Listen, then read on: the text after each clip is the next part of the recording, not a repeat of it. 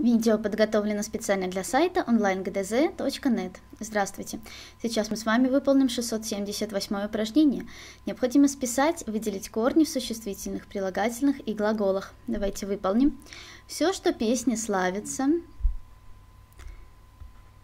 все, что сердцу помнится, все, что снится, видится, в стороне лесной – Милая красавица, ласковая скромница, белая березонька дарит мне весной.